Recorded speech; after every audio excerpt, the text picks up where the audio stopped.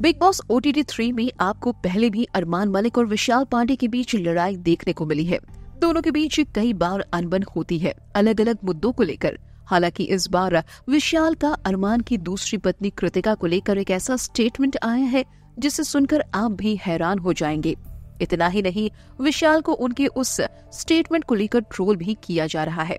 दरअसल अरमान और विशाल की हाल ही में लड़ाई हो जाती है और दोनों के बीच बनती भी नहीं है। तो इस बात को लेकर विशाल लेटेस्ट एपिसोड में बोलते दिखाई दिए कि अरमान भाई चुगली वाली आंटी की तरह है। मैं सिर्फ़ कृतिका भाभी के लिए वहाँ बैठता हूँ। मुझे वो अच्छी लगती है। वहीं अरमान और विशाल की लड़ाई की बात करें तो विशाल ने दरअसल अरमान का फ़ोन छिपा दिया था। दोनों के बीच इस बात को लेकर बहस हो जाती है और फिर बाद में ये बहस और गंभीर हो जाती है।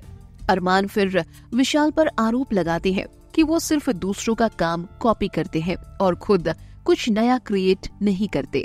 उनके कंटेंट में कुछ नया नहीं होता है। अरमान की इस बात को सुनकर विशाल को काफ़ी गुस्सा आ जाता है और वो कहते हैं कि एक बार दोबारा मेरे कंटेंट पर बोल के देखना। तुझे बताता हूँ, फ़िलहाल आपका इस पर क्या कहना है? हमें कमेंट करके ज़रूर बताएँ।